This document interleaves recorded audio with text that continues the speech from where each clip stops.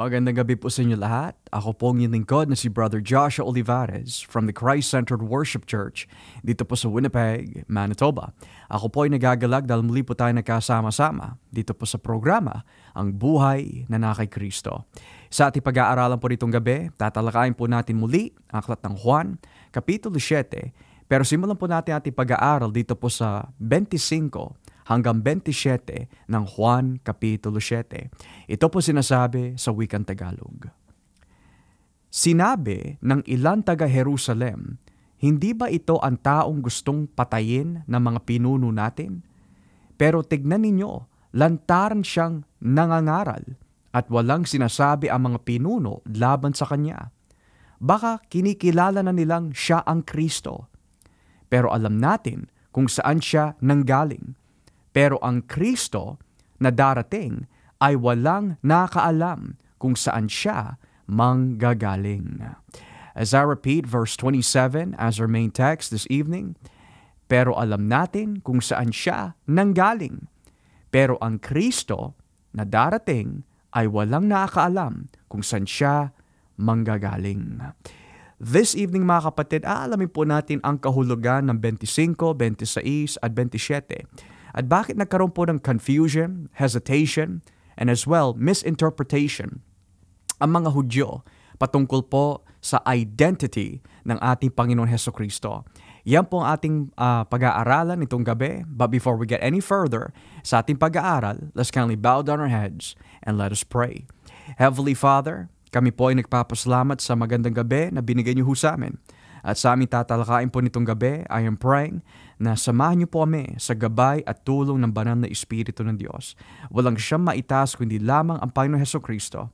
In Jesus' mighty name we thank you. Amen and Amen. Praise God. So, napag-aralan po natin kagabi mga kapatid ang 22 hanggang 24 concerning about yung superficial judgment ng mga Hudyo na tumitingin lamang po sila sa panlabas and therefore kinorek po ni Kristo ang kanilang maling pananaw by simply stating, huwag kayong humusga ayon lamang sa iyong nakikita, kung hindi, humusga kayo ayon sa nararapat. Do not judge according to outward appearance, but judge a righteous judgment. Dahil nga po, sinabi ng mga Hudyo na si Kristo ay sinasaniban po daw ng masamang espiritu, And uh, nagulat din po sila na may abilidad si Kristo na magturo ng isang bagay na hindi naman siya tinuruan ng mga rabbis, which yun po ang pananaw po nila para maituring na ikaw talaga ay isang tagapagturo, kailangan aralan ka ng mga rabbis.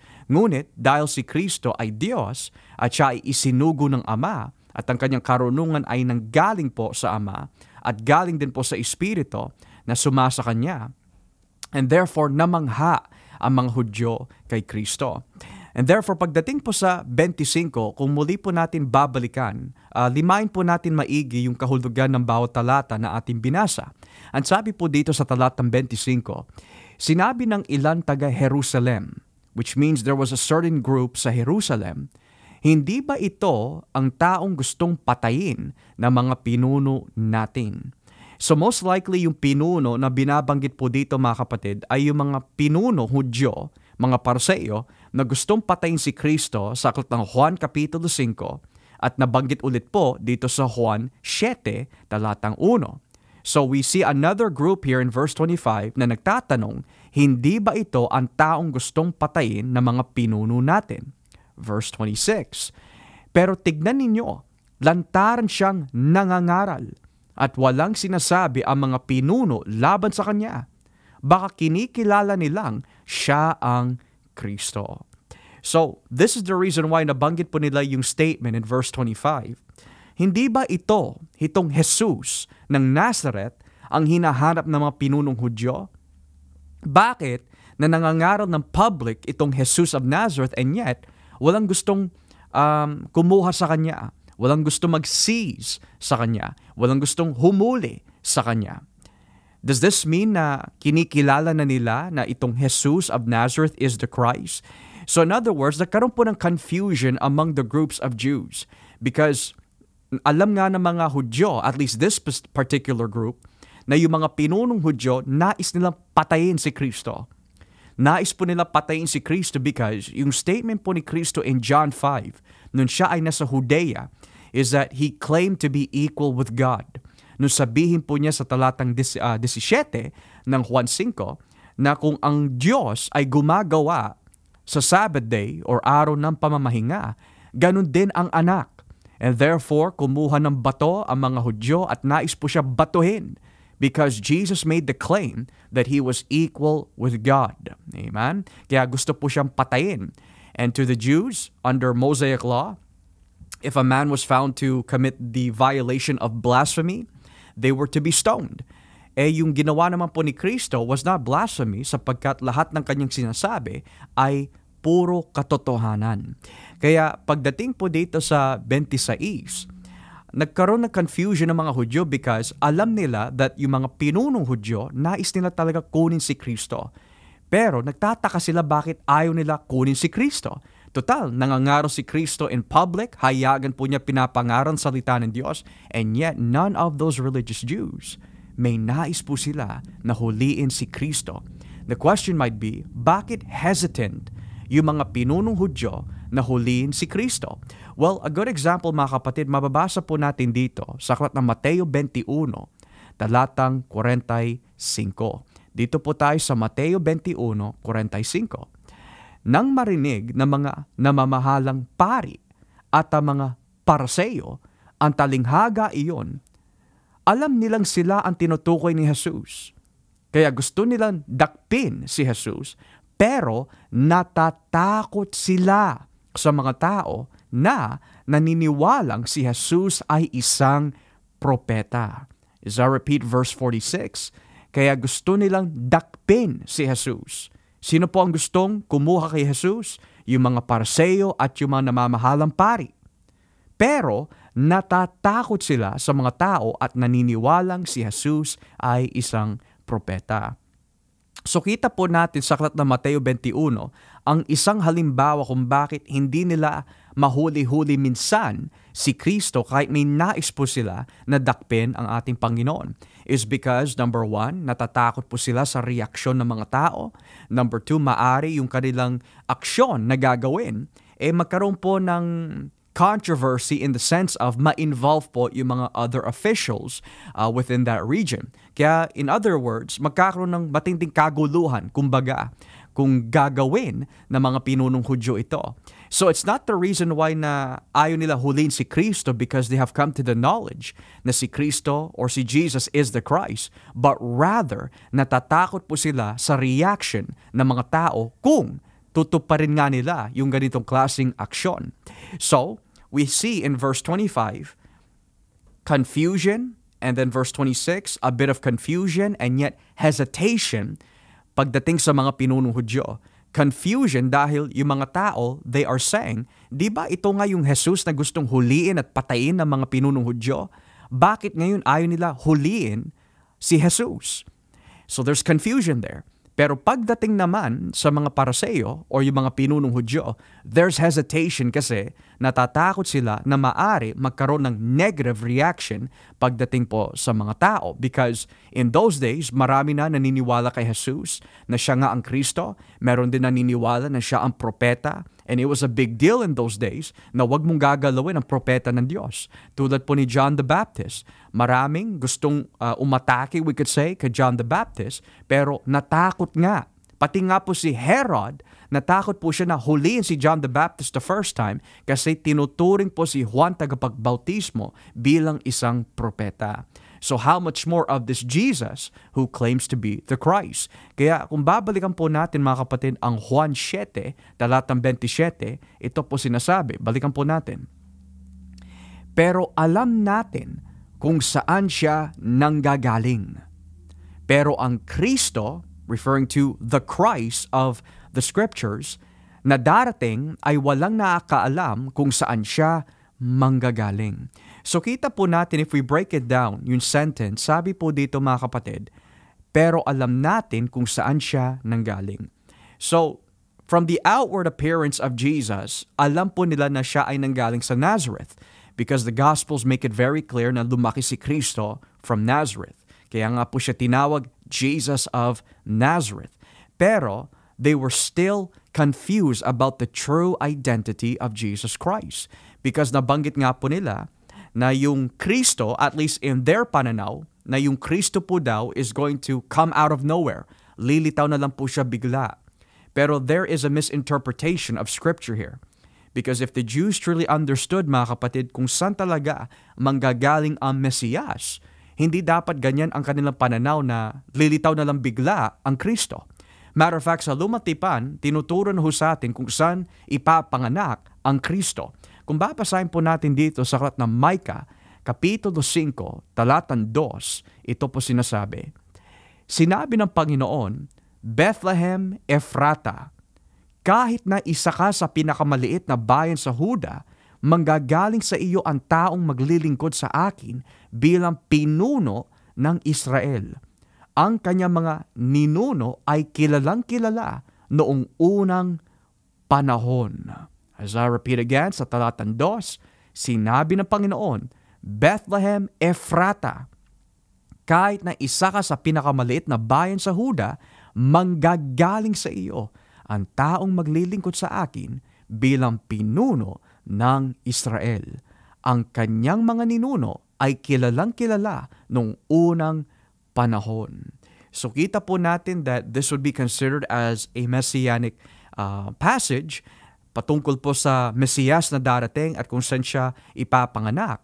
And yet, sabi ng Biblia sa Lubang Tipan, ipapanganak ang Kristo, ang pinunong hari, we could say, or rather ang pinuno ng Israel sa Bethlehem Ephrata. And we know that the meaning of Bethlehem, mga kapatid, means the house of bread. And yet, ang tinapay na nagbibigay ng buhay ay ipapanganak sa house of bread, which natupad naman po dito sa aklat ng Mateo kung ating bubuksan. Mateo Kapitulo 2, talatang 5. Sumagot sila sa Bethlehem na sakop ng Huda dahil ganito ang isinulat ng propeta, Ikaw, Bethlehem, sa lupain ng, Hud, ng Huda, hindi ka huli sa mga pangunahing bayan ng Huda dahil magmumula sa iyo ang isang pinuno na magsisilbing pastol ng mga mamamayan kong Israelita. Again, ikaw, Bethlehem, sa lupain ng Huda, ang sabi ng Biblia, Diyan magmumula sa iyo ang isang pinuno na magsisilbing pastol ng mga mamamayan kong Israelita. So notice yung siya ang magiging magsisilbing pastol ng mga Israelita. E di po ba mga kapatid, ang pananaw ng mga Hudyo na ang Diyos lang ang pastol ho nila? Saklat ng Ezekiel 34, which nilinaw naman po ni Kristo sa Juan Kapitulo G na siya ang mabuting pastol. And therefore, although na lumaki si Kristo in Nazareth, pero yung origin of kanyang fleshly birth, we could say, ay natupad po yung propesiya ng dumatipan that says na ang Mesiyas ay ipapanganak sa Bethlehem, which na-record naman po ni Mateo na itong Jesus na tinatawag Kristo, siya ay pinanganak sa Bethlehem. So what can we learn mga kapatid about these statements in verse 25, 26, and 27? Nagkaroon ng confusion ang mga tao patungkol sa statements ng mga pinunong Hudyo about Jesus. Nagkaroon ng hesitation ang mga pinunong Hudyo to seize Jesus. And then nagkaroon po ng misinterpretation ang mga Hudyo patungkol po kung saan manggagaling ang Mesiyas all in all, from verse 25, 26, and 27, it's all centered on Jesus. There's confusion about the identity of Jesus. There's confusion about the rumors and understanding about the Jews about Jesus. And there's a misinterpretation of the sacred text concerning about Jesus. So nakikita po natin na ang bunga ng not knowing the identity of Jesus Christ can lead to confusion, can lead to bad actions, and can lead to misinformation and misunderstanding ng sinasabi ng Biblia. Kaya napaka-importante pag binabasa po ang salita ng Diyos, or rather, kailangan basahin natin ang salita ng Diyos upang maunawaan po natin kung sino talaga ang Panginoon. Dahil may nagsasabi na si Kristo ay hindi Diyos, may nagsasabi tao lamang siya, may nagsasabi na siya ay makasalanan, may nagsasabi na siya ay sinasaniban ng demonyo, pero ano po ba sinasabi ng Biblia? Sapagkat ang Biblia, yan ang rule of faith ng Christianity Diyan ho natin malalaman, makikita kung sino talaga si Jesus. Kung yung tinuturo po ba ng isang reliyon ay tama patungkol kay Kristo. Kung yung tinuturo ng isang rabbi, isang tagapagturo, isang pastor about Christ, how do you know if it's right? Kung hindi natin susuriin maigi sa sinasabi ng Biblia. Kaya nagkaroon ng confusion, hesitation, and misunderstanding ang mga tao because lack of knowledge po sila in the sense of hindi nila sinuri maigi kung sino talaga itong Mesiyas na sinasabi ng Biblia or rather sinasabi ng lumatipan. And therefore, kung binasa po nila at sila ay pinatubayan ng Holy Spirit or Espiritu Santo, imposible na magkaroon po sila ng conclusion that Jesus is not the Christ, but rather dapat nagkaroon po sila ng conclusion na itong Jesus is in fact yung Kristo na binabanggit ng dumantipan. Kaya kung nais nyo po mga kapatid nitong gabi na makilala si Jesus, basahin nyo po ang Biblia. Hingi po kayo ng gabay sa Diyos to understand truth. And for those who are seekers of the truth, I believe 100% mga kapatid, if you're seeking the truth of who God truly is, it will lead you to Jesus Christ si Kristo ng Biblia.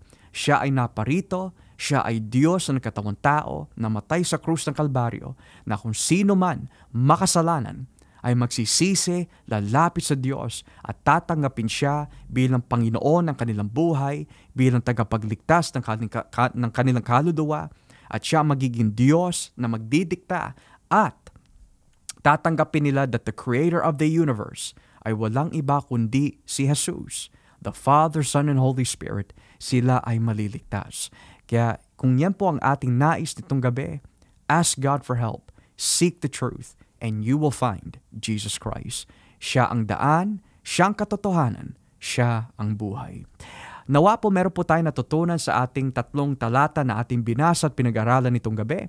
At sa darating po na Monday, ipagpapatuloy po natin the other verses ng Juan Kapitulo 7.